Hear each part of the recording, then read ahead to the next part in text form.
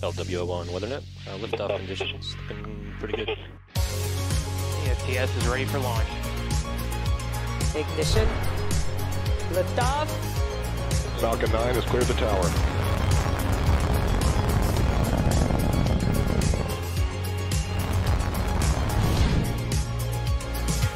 Ten, nine, eight, Side booster ignition. six, five, four, three, two, one.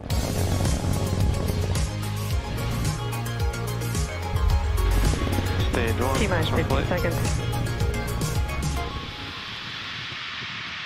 10, 9, 8, 7, 6, 5, 4, 3, 2, 1, 0.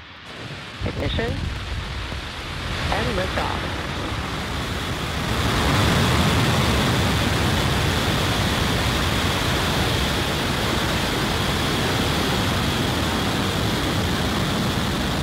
Stage one nominal. pitching downrange.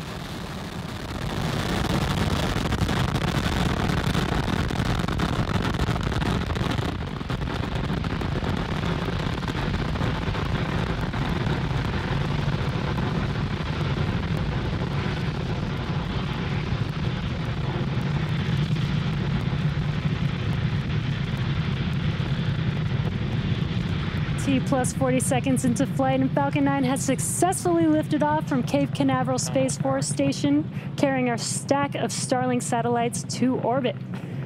We're now throttling down our engines in preparation for max Q, which is maximum aerodynamic pressure.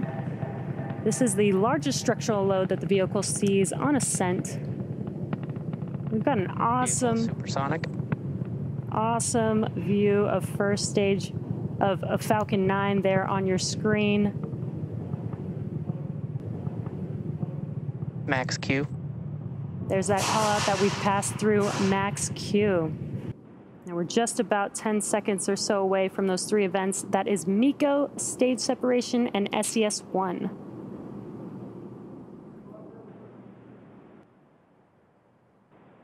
MECO. Stage separation confirmed.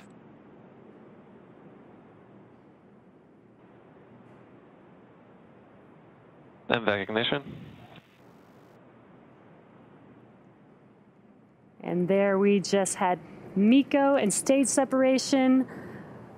On your right hand screen, you're looking at that MVAC engine on the second stage, confirming SES1.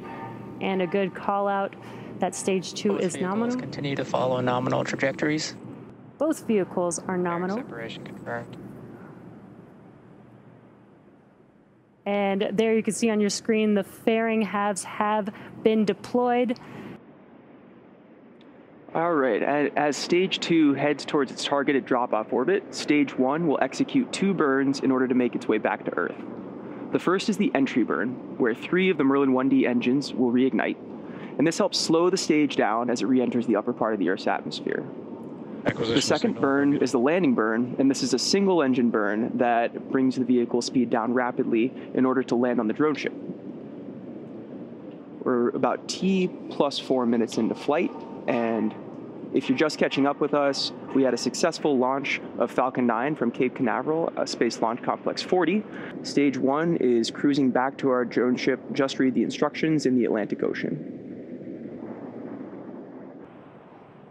SECO. And we've had second engine cut off one. Also signal stage two from the Cape as expected.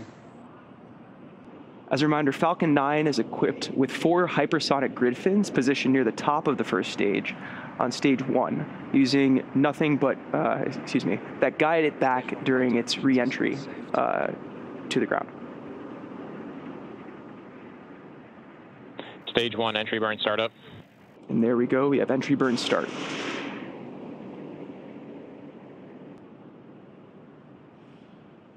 Stage one entry burn shutdown.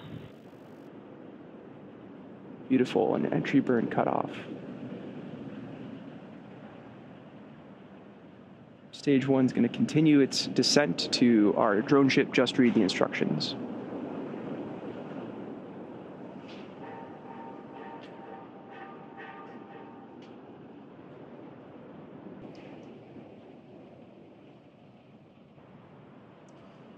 To land, the Falcon 9 first stage is also equipped with four landing legs made of state of the art carbon fiber and aluminum honeycomb. These are placed symmetrically around the base of the rocket and deployed just prior to landing. Stage 1 landing burn. 10 seconds out. We may see a video cut out here.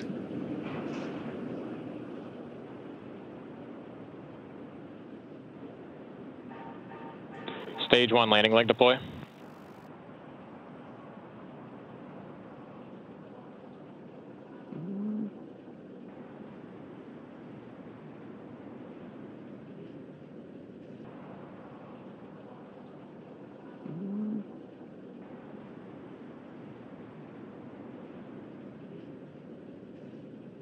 All right, and there you can see we've landed first stage on our drone ship.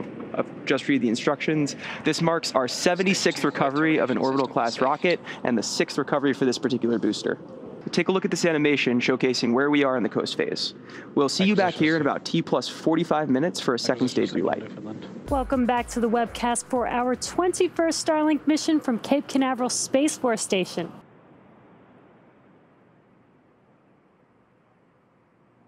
There you could see it was a very, very quick burn, but we did have SES-2 and SECO-2. We got to call out. Nominal orbit insertion. There we go. We'll see you back here at T plus one hour and four minutes. Welcome back to our webcast for Starlink. And now we are coming up on the deployment of our Starlink satellites. Payload deployed.